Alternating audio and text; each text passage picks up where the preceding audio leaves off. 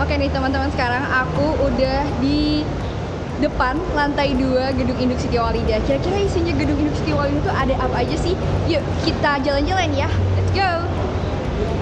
Nah, jadi di sebelah kanan aku sekarang itu adalah uh, Bank Jateng dan di sebelah kiri ada Bank Syariah Bukopin di mana teman-teman bisa melakukan kegiatan keuangan dan juga melakukan pembayaran dan segala aktivitas perbankan melalui kedua bank tersebut. Nah, di dalam gedung Induk Siti Walidah ini terdapat tujuh lantai dan kita sekarang berada di lantai kedua, di mana di lantai ini terdapat ruangan BAA atau biasa disebut dengan Biro Administrasi Akademik, di mana teman-teman bisa melakukan segala kegiatan akademik dan mengurus segala keperluan akademik di BAA sini. Dan di dalam gedung induk Siti Walidah ini juga terdapat lift. Terdapat tiga lift sebenarnya, tetapi teman-teman kalau bisa menggunakan dua lift yang berada di sana karena lift yang ada di tengah-tengah bangunan ini biasanya digunakan oleh para staff atau juga uh, pejabat kampus seperti itu. Nah, perlu digarisbawahi ketika teman-teman ingin naik satu lantai atau mungkin turun satu lantai aja, lebih baik kita menggunakan tangga nih seperti yang aku pergunakan. Dan sekarang kita akan menuju ke lantai tiga adalah lantai kemahasiswaan atau biasa disebut dengan bak mawa. Jadi ketika teman-teman mengurus administrasi tentang kemahasiswaan bisa ke lantai tiga. di mana di lantai tiga ini juga terdapat musola kecil untuk gedung induk Siti Walidah ini. Nah, di, di depan kita nih udah ada musolanya. Dan tempat wudhunya persis di sampingnya. Sekarang kita akan naik ke lantai 4 tapi kita jalan kaki aja kali ya. Lantai 4 gedung induk Siti Walidah berisi beri biro administrasi keuangan dan kantor informasi keuangan mahasiswa. Jadi buat teman-teman yang biasanya ingin mengurus keuangan untuk mau tes atau mungkin segala bentuk keuangan biasanya langsung ke lantai 4 ini nih teman-teman lalu kita naik ke lantai 6 aja kali ya. Nah sekarang kita udah masuk di dalam lift ya. Dan sebentar lagi kita bakal naik ke lantai 6 di dalam lift ini ya kalau bisa person capacity-nya atau maksimum orangnya 21 nih. Tapi kalau misalkan karena ini lagi pandemi covid lebih baik kita jaga jarak ya. Jadi dalam lift kalau bisa sedikit aja orangnya And here we go di lantai 6 dan di lantai 6 ini berisi tempat di mana jajaran staf dan rektor biasanya bekerja di lantai 6 ini. Ya emang agak sepi ya dari kawasan mahasiswa karena memang ya ini memang khusus untuk rektor, wakil rektor, dan jajaran staf penting di Universitas Muhammadiyah Surakarta. Lalu kita langsung naik aja ke lantai 7. Perlu teman-teman ingat, lantai ketujuh adalah lantai paling atas daripada gedung induk Siti Walidah dan di mana di sini ada kantor BKUI atau Biro Kerjasama dan Urusan Internasional dan juga kelas-kelas untuk teman-teman yang mendaftar di dalam kelas internasional. Dan sekarang kita udah ada di lantai tertinggi di gedung induk Siti Walidah Nah, di lantai 7 ini ada BKUI, kantor Biro Kerjasama Usaha Internasional. Jadi untuk teman-teman yang mengambil kelas internasional dan teman-teman dari luar negeri biasanya mengurus urusannya di lantai 7 Gedung Industri Walida. Dan di Gedung Industri Walida lantai 7 juga ada ruang seminar nih teman-teman. Dan sekarang kita akan memasuki ruang seminar di lantai 7 Gedung Induk Siti Walida. Nah, teman-teman harus tahu nih kalau misalkan di depan ruang seminar itu ada kelas-kelas untuk kelas internasional nih dan bentuknya melingkar menyesuaikan dengan bentuk gedung dari gedung induk Siti Walida. Sekarang kita masuk yuk ke ruang seminarnya. Assalamualaikum. Nah, ini dia penampakan dari ruang seminar Gedung Induk Siti Walidah. Coba kita ke tengah ya.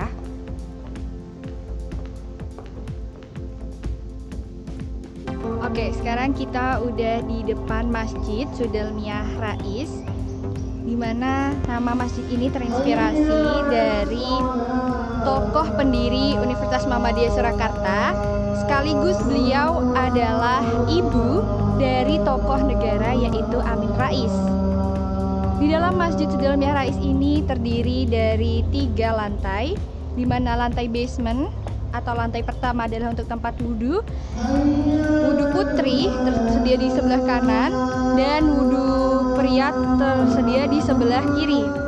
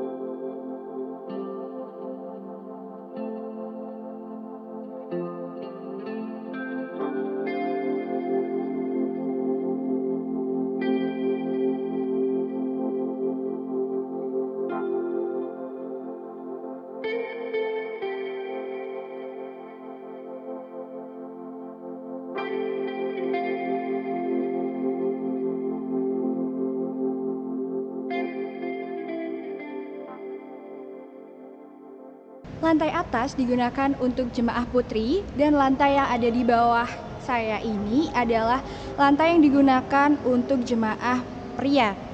Dan Masjid Sudalmiah Rais ini mampu menampung lebih dari 500 jemaah setiap kali digunakannya. Seperti itu teman-teman.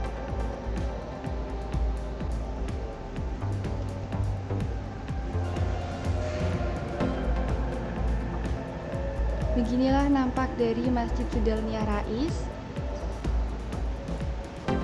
Nah, teman-teman, sekarang kita udah berada di lingkungan kampus 1 Universitas Muhammadiyah Surakarta. Di kampus 1 ini terdapat beberapa fakultas. Salah satunya adalah Fakultas Ilmu Kesehatan. Ini adalah gedungnya.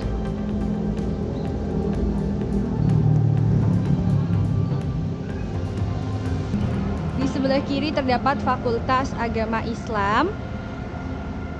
Dan di sebelah kanan saya ini adalah Taman FKIP dan juga Auditorium Muhammad Jasman. Dan tepat di bagian barat terdapat gedung Fakultas Keguruan dan Ilmu Pendidikan.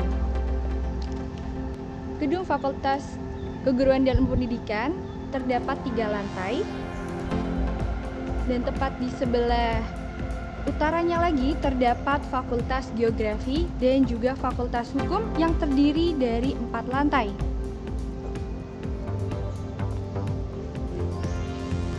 Dan sekarang kita berada di depan gedung Fakultas Hukum dan Fakultas Geografi. Gedung Fakultas Hukum dan Fakultas Geografi terdiri dari empat lantai, di mana lantai keempat terdapat kantor LPIDB atau Lembaga Pengembangan Ilmu Dasar dan Bahasa. Sekarang kita bergerak menuju gedung Auditorium Muhammad Jasman. Gedung Auditorium Muhammad Jasman ini sekaligus menyatu di bagian depannya dengan masjid yang berada di kampus 1 Universitas Muhammadiyah Surakarta. Nah, teman-teman, di belakang kita ini ada masjid yang baru banget dibangun oleh Universitas Muhammadiyah Surakarta, tepatnya berada di lingkup Fakultas Kampus Kedokteran dan juga di lingkup pesantren mahasiswa atau lebih tepatnya dikenal sebagai lingkungan kampus 4 Universitas Muhammadiyah Surakarta.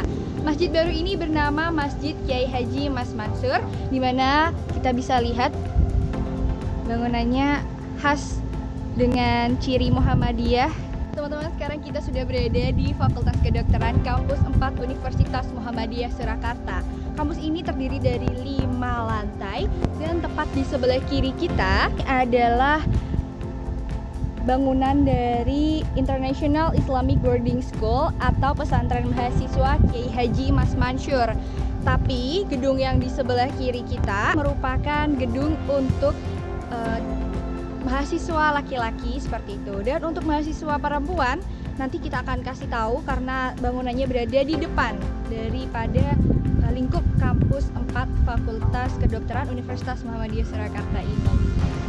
Nah, teman-teman, sekarang kita udah berada tepat di depan area PESMA atau Pesantren Mahasiswa Ki Haji Mas Mansur UMS. Nah, gedung yang depan ini dikhususkan untuk mahasiswa putri yang ingin nyantri di UMS itu bisa banget untuk tinggal di PESMA ini. Nah, gedung PESMA Putri ini terdiri dari empat lantai. Yuk, sekarang coba kita masuk sedikit ya untuk lihat seperti apa sih PESMA UMS itu.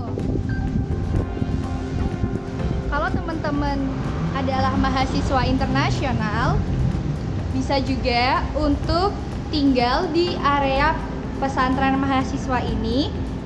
Akhirnya nih teman-teman kita sekarang berada tepat di depan gedung Edutorium Universitas Muhammadiyah Surakarta. Gedung ini tuh bener-bener baru dan ini menjadi salah satu ikon dari Universitas Muhammadiyah Surakarta. Karena gedung ini mampu menampung hingga seribu orang lebih loh. Nah teman-teman kalau misalkan teman-teman wisuda pasti bakalan digelar di Edutarium Universitas Muhammadiyah Surakarta ini. Dan mungkin untuk acara-acara lainnya yang begitu megah bisa diselenggarakan di sini nih teman-teman. Bangga ya kita jadi anak UMS.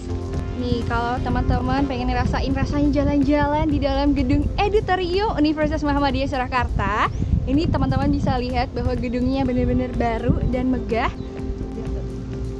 dan berikut adalah fasilitas musola yang dimiliki oleh Edutorium Universitas Muhammadiyah Surakarta.